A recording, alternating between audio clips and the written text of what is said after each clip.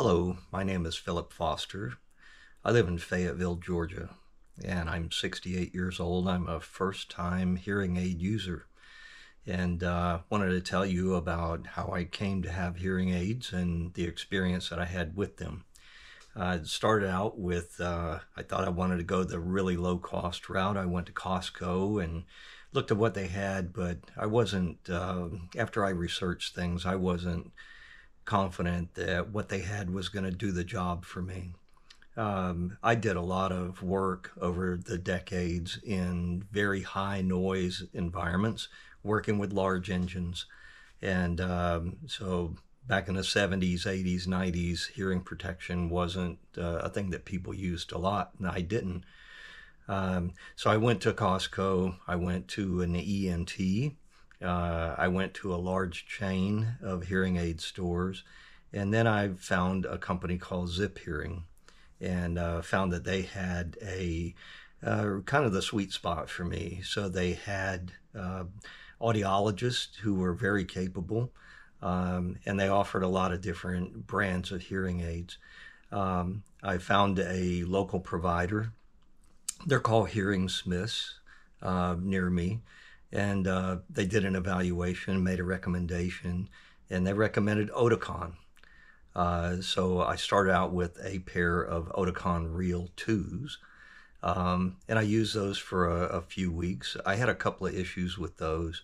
Um, and to the credit of Zip Hearing, they um, they decided the intent line had just uh, come out, just come out, and they uh, they swapped out the Reals for the intents. Uh, I, I think they wanted to have some, you know, some real users out there. So uh, just wanted to tell you that the uh, the the intents have been good for me.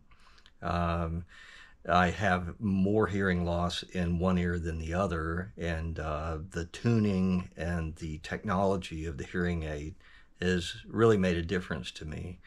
Um, the Hearing Smith's audiologist, Rachel Smith, uh, helped me understand too that it's not just your ears and it's not just your hearing aids, it's your brain. Uh, so I'm sort of still adapting. My brain is still learning to hear again, uh, like I should have, especially the higher frequencies. Um, so it's been overall a positive experience. I will say, uh, though, that on the sort of challenging side, uh, that the linkage with the cell phone is not very good. Uh, so I'm constantly battling with uh, people on the other end of the phone. Uh, they, they can't hear me very well. If I get more than six or eight feet away from my phone uh, while I'm talking, uh, one ear or the other will drop out, and sometimes the connection totally gets lost. Uh, so that's baffling to me because I've had Bluetooth um, you know, phone accessories before, and I could get 40, 50 feet away and I'd be okay. Um, but you know, I think Oticon is is working on that. I hope they hope they get it squared away because that's a that's a downside for me. Uh, I don't listen to really music or streaming audio in my hearing aid, so I can't comment about that.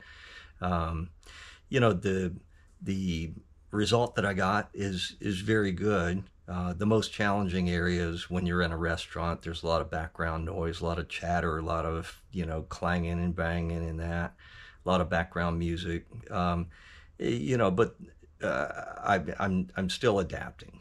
Uh, so I, I think overall the hearing aids do a really good job.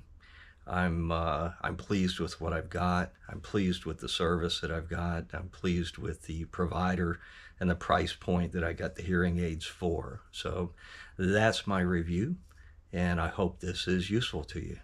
Thanks.